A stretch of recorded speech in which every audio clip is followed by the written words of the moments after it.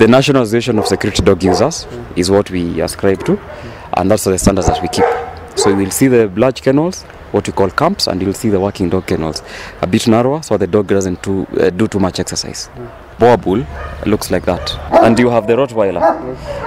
Jeffy, where? They're all 100,000 or thereabouts. It, it goes around that price. When they come here, we train them, we add value on them, they go up to 200. Kibrutus, good boy. Good boy. Say hi. Kibrutus. Come. Come. Duma, come. Come. Up. Up. Is Potter getting up? Potter. It's a pet, we start from when they are pet.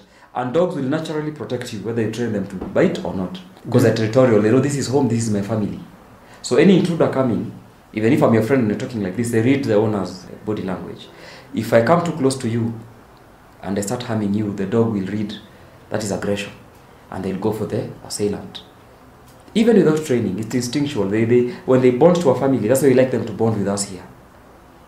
When they bond to a human being, they'll protect them through instinct. All we do, people who work with dogs, is to polish and to encourage that instinct. Yeah, praise the dog for taking care of somebody, and to react by reacting to a cue. When you want to come from church, you want to, tell people that uh, you know my vet came to treat the dog at home. When your neighbor is talking about a dog, you also want to talk about a dog, and then you have a private vet. You know, it's a status thing.